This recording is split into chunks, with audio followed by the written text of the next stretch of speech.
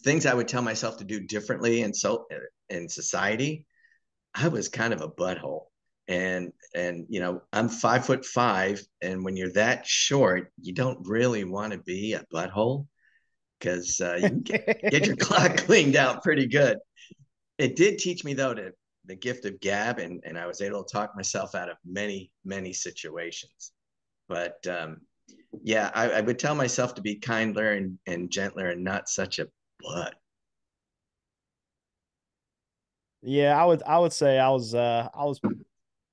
probably in a, a similar vein to you. I uh, I thought I was bigger than I was um as far as uh confidence wise or whatever and uh yeah, just just really being a real person is is very important especially when you're younger because the real world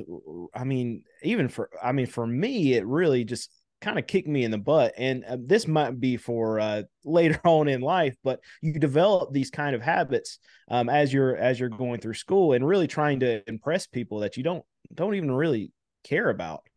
um, yeah. and you'll you'll find out I mean, going through high school, if there are any younger people that are watching this, that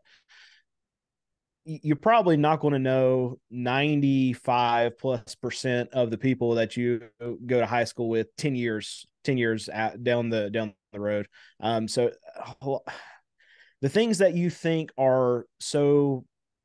important in your life when you're at that age range turn out to be nothing later on. And uh really if if if i could say really anything to to a younger crowd is is start trying to develop some some kind of world skill um, w- whether it's looking into knowing what to do with your money later on. Um, i talk a lot on my channel about about cars and car payments and just being able to set yourself up when you're getting into that 15 to 20 year old range you're going to have your first car you're going to start driving um, and I didn't want to talk about cars, but I, I, have to. This is this is what this is this is something that I, I preach a lot on my Welcome to Ron Knows Stuff.